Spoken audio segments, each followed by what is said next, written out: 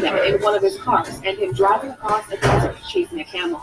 If you want to see some other surprising things going on in the Middle East, click on the upper right hand corner to check out our video 15 Crazy Things You Only See in Dubai. Number 11. The House of Saud tried to suppress the Death of a Princess documentary.